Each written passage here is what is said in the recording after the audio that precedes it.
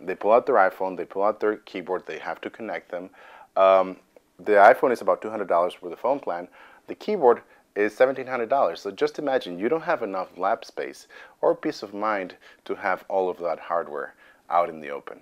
So what we've developed is a solution that allows you to type directly on the phone.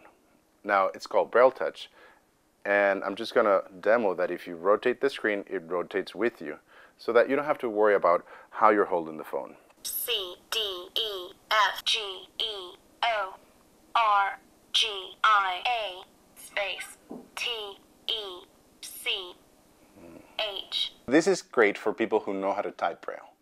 Um, you don't have to know how to read Braille. Those are two different tasks and reading is much harder. But if you know how to type Braille, you can start using, and we've determined through our user studies that users can pick it up and uh, without any training start typing faster than most people type on a QWERTY keyboard. My colleagues and I, we've personally learned in a couple of hours of training with our Braille Touch device. This definitely does not solve texting and driving.